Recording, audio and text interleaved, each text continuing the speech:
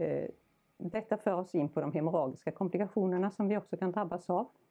Och då skulle jag också vilja att man fokuserar på en uterusatoni.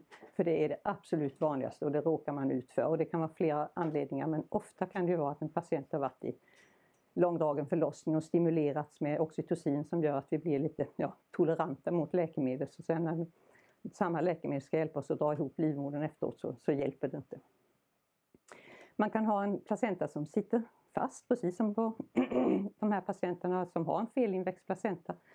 Eh, och det ökar ju lite och det tror man ju kan bero på en ökad vad ska man säga, operationsfrekvens eller snittfrekvens. Eh, att man har ärr i livmodern lika väl som att man kan ha en föreliggande placenta eller placenta previa. Man kan nog se vissa komplikationer öka eh, till följd av att vi både gör mer kirurgiska ingrepp i livmodern med myomextirpationer och Eh, ja, även en kirurgisk abort kan ligga bakom en sån här komplikation som att eh, placentan fastnar eller växer fel.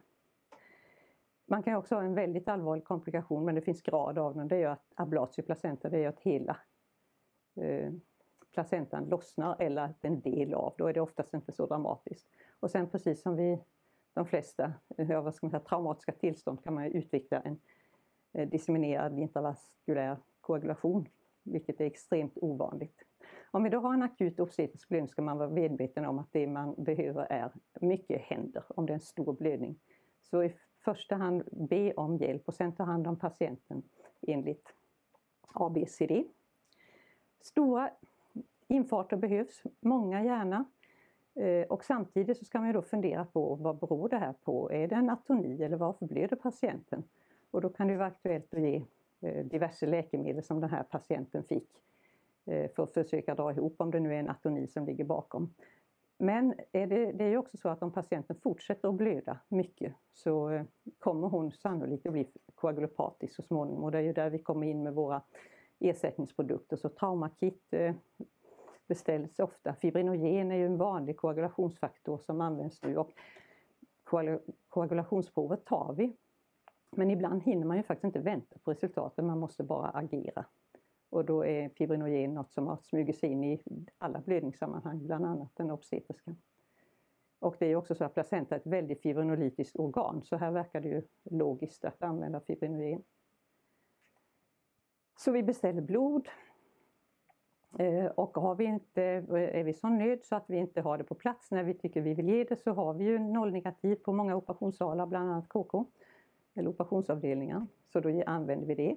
Är det så att vi har svårt att få in nålar för patienten är så utblödd så kan man ju eh, trycka på aorta på detta sätt som den ska demonstrera och med handen känna på femoralpulsen att pulsationerna upphör. Det kan göra att man kan få lättare att få in de här nålarna som vi vill sätta för att kunna ersätta blodförlusten.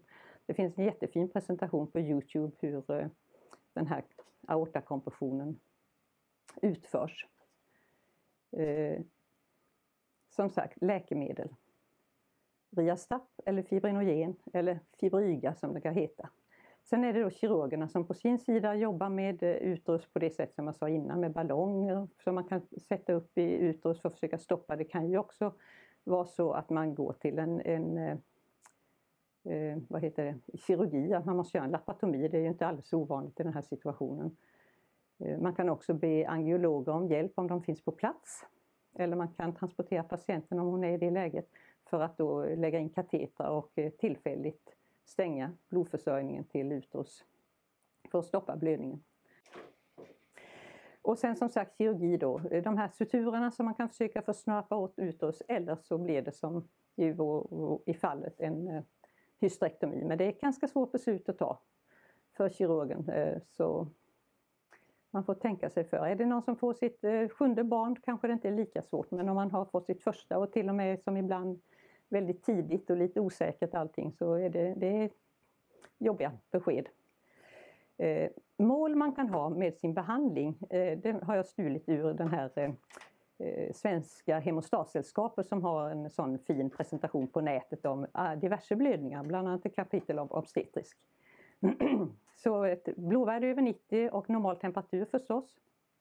Ett kalkvärde över 1 och eh, pH som är ungefär normalt. Det är något att sträva efter.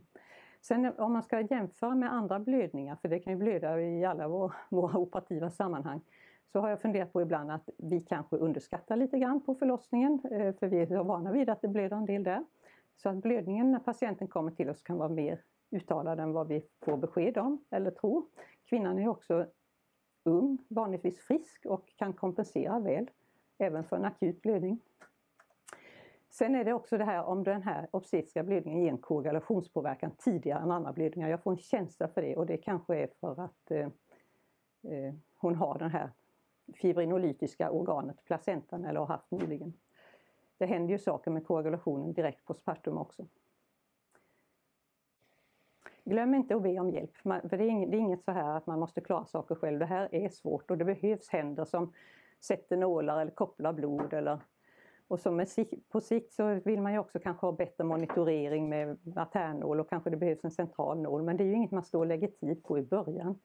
Eh, utan det får man ju ta efterhand. Utan det är bra intravenösa eh, infarter. Eh, Cellsaver har jag inte nämnt. Det, det, är ju också något, om det finns och kompetensen finns, som man kan använda.